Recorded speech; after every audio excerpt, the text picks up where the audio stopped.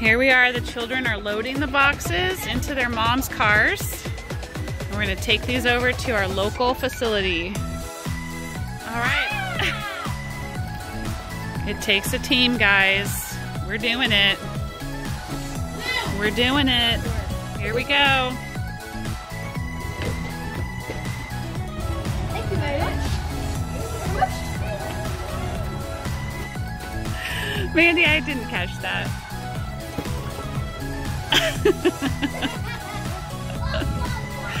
Great job. Oh man, look at you guys go. Woo woo.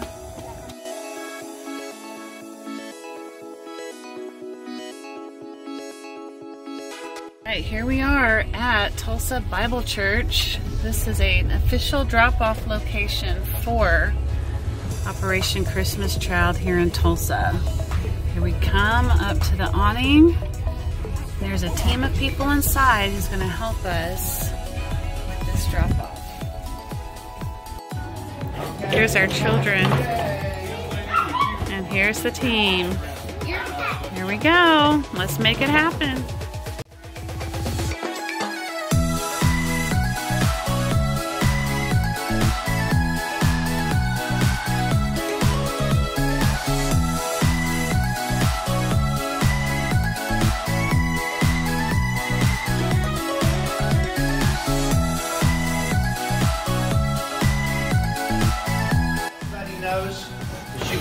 Start being packed in their own homes and then collected in our churches.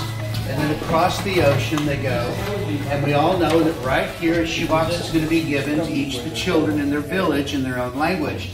But maybe what you didn't know was for the next 12 weeks, those same children are invited back to go through a booklet called The Greatest Journey. End of the 12 weeks, and they're given a New Testament in their own language. Mom and dad are invited, and the gospel is shared with them for the first time. So sometimes your Christmas shoebox can lead an entire family to the Lord. This year, most of our shoeboxes are going to go to the Ukraine, along with 1,700 um, wood burning stoves to help them heat their homes. Because of the war, they don't have heat in their homes. And some of the boxes are headed for Central America, to Venezuela, and Colombia. And our target this year is also the Pacific with a thousand islands. So we have two million shoeboxes coming out of the United States this year. headed Wow. across the ocean. Incredible. Thank you.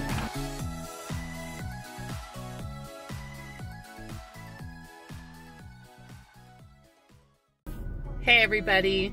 Well, it's done. We did it. We accomplished something together that is truly unique, significant, impactful, and I couldn't be more thrilled, and happy, and proud of our team. It was very fun to go and drop the boxes off to Tulsa Bible Church, just a couple of miles down the road from Kingdom Rain. The team who received us was so impressed that uh, with our children, they were so thrilled that they were able to help and that we as a church were able to give them 96 boxes. That's 96 children who will be impacted by your giving. Thank you so much for giving not just a small gift, something that a child can hold on to and play with, but you're giving the gift of Jesus as these children will also receive discipleship. Um, when they open their shoebox, they're going to be invited to take part in a discipleship course that lasts for 12 weeks. And as we've seen from some of the testimonies already, these children who go through this discipleship course not only accept Jesus in their hearts, but they in turn um, believe that it's real and true, and they share this good news with others. So, thank you guys for turning 96 boxes into something that's very powerful um, and that will truly make a difference in the lives of people. Thank you for investing in people and in leaders.